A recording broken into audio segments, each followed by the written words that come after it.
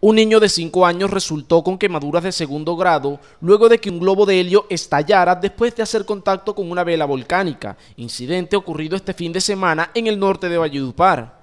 El lamentable caso se presentó este domingo en el barrio Santa Clara en Valledupar. La alegría que se vivía en una fiesta se convirtió en tristeza después de que un menor de 5 años sufriera quemaduras en su rostro, ya que un globo de helio estalló al hacer contacto con una chispa de una vela volcánica, las cuales se utilizan para celebrar cumpleaños.